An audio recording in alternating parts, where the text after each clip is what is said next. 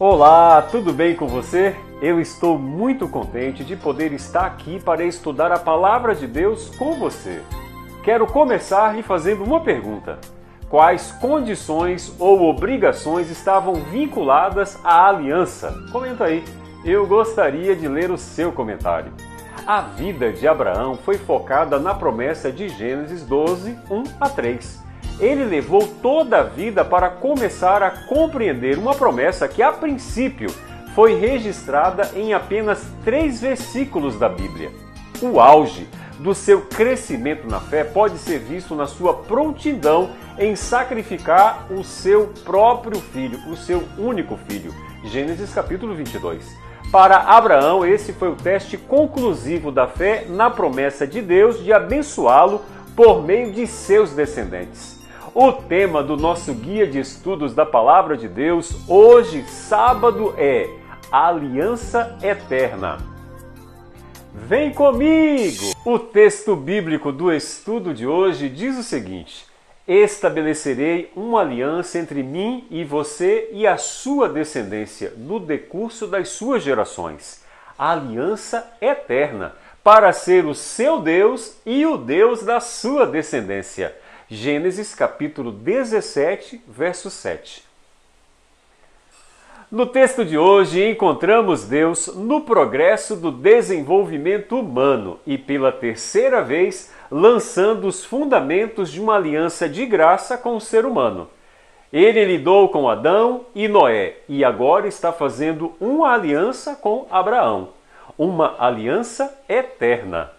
A promessa feita por Deus era simplesmente inacreditável.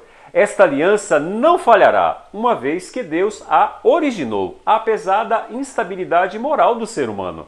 Embora ainda não possamos ver a possibilidade de cumprir a condição do lado do ser humano, ainda podemos ter certeza de que os propósitos de Deus, de alguma forma, serão realizados. Glória a Deus por isso a semente de Abraão acabará por abraçar toda a família humana em comunhão com Deus.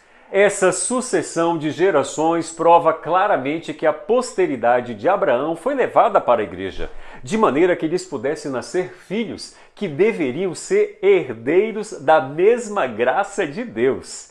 Dessa maneira, a aliança é chamada aliança eterna, durando até a renovação do mundo, que ocorrerá por ocasião da segunda volta de Jesus.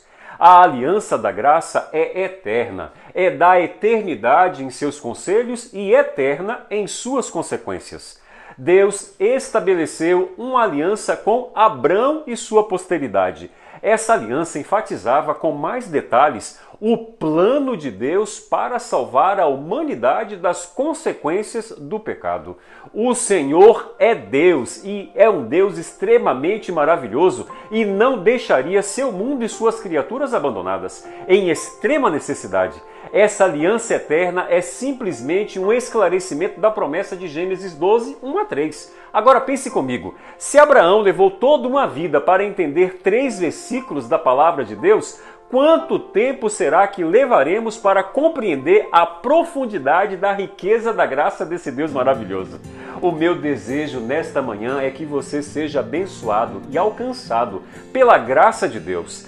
Tenha um sábado extremamente abençoado na presença do Eterno.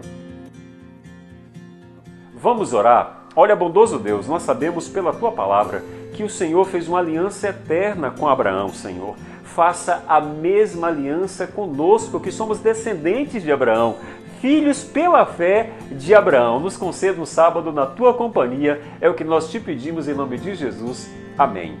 Fica com Deus, fique na paz. Maranata!